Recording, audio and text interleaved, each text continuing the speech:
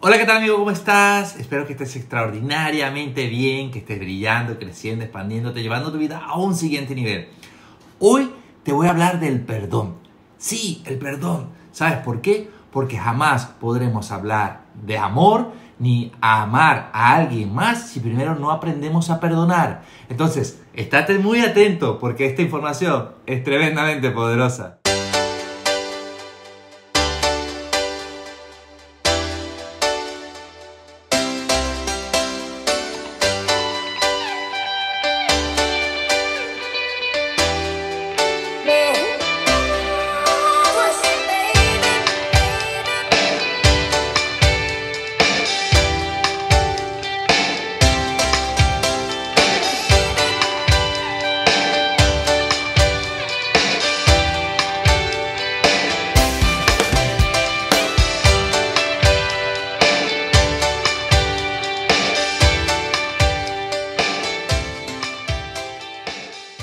Hablemos del perdón.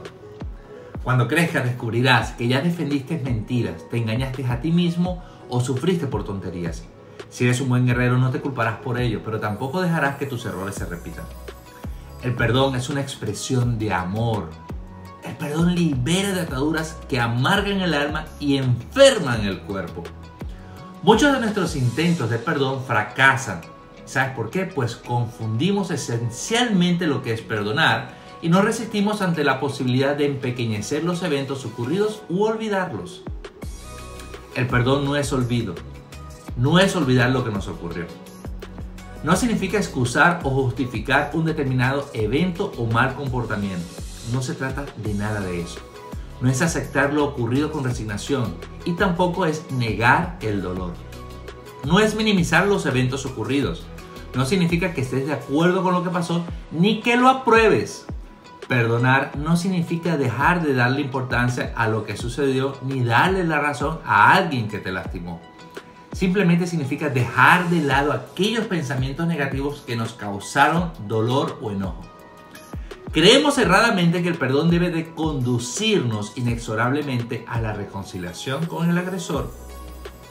Pensamos que perdonar es hacernos íntimos amigos de nuestro agresor y por tal motivo lo rechazamos. No implica eso para nada. El perdón es únicamente para ti, para ti y para nadie más.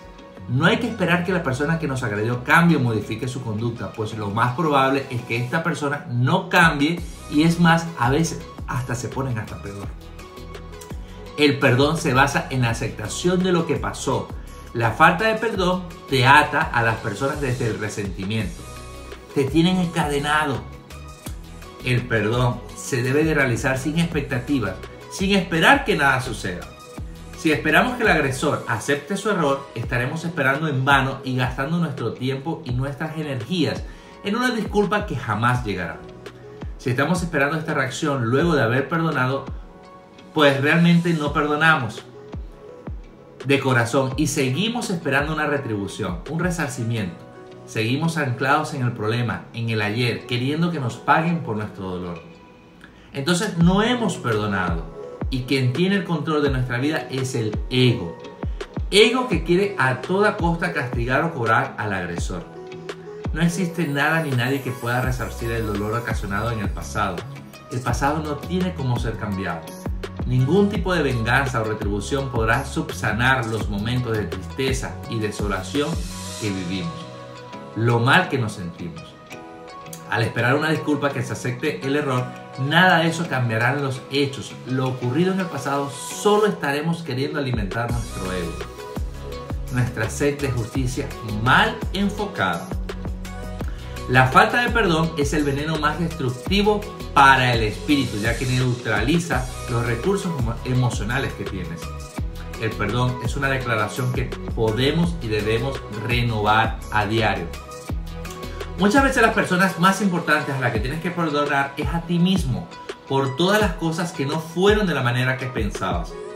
Perdonando desde nuestro corazón, logramos mirar los hechos tal y como sucedieron y luego decidimos dejarlos ir, dejarlos en el ayer.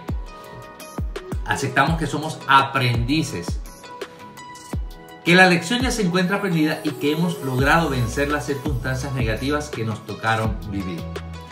Perdona para que puedas ser perdonado. Recuerda que con que midas, serás medido. La vida te enseñará que las personas siempre fallan, que el amor nunca será el perfecto y que realmente no existen los amores de novela. La vida te enseñará a caerte una y otra vez, pero tú le enseñarás a la vida que puedes levantarte mil veces y más.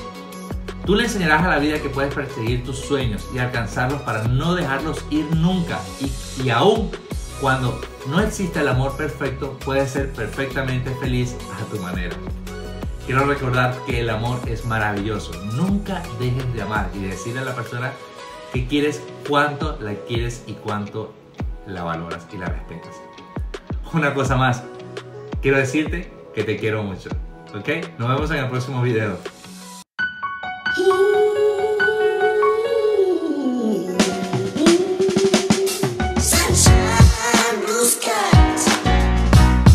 Más.